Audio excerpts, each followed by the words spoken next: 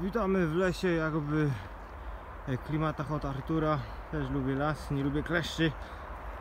Przyjechałem sobie na monocyklu.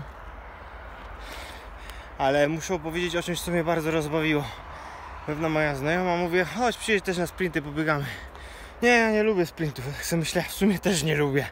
Ale wiem, że po tym jestem szczęśliwy i to też, że człowiek widzi, że ma tą szybkość i dużo plusów e, bycie takim drapieżnikiem, choćby w samoobronie, albo że tak powiem, tak jak ludzie, którzy ćwiczą kulturystykę, no to rzadko kto na trzeźwo by do nich zastartował. Mogą przeżyć spokojnie, nie narażając na jakieś tam większe stresy czy, czy ubliż, ubliżanie.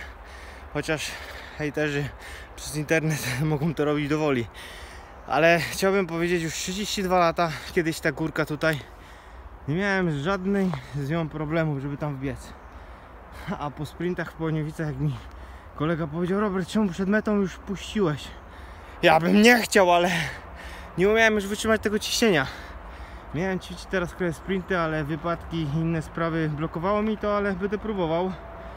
I tak fajnie by było mieć tą systematyczność i zobaczyć, czy znowu można znowu poprawić tą jakąś wydolność, czy te umiejętności sprinterskie. Tak więc takie podsumowanie. Nie wszystko jest miłe. Nie wszyscy ludzie coś robią to, bo lubią, tylko wiedzą jakie są konsekwencje po tym i co im to da. I to by było na tyle.